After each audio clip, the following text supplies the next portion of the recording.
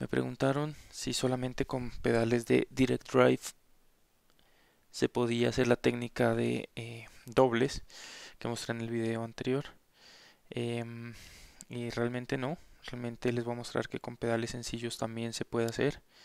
Voy a darles una demostración a 260 BPM. Aún eh, me falta mucho por mejorar, pero, pero está bastante bien para, para mostrarles que con práctica en este tipo de pedales también se puede hacer.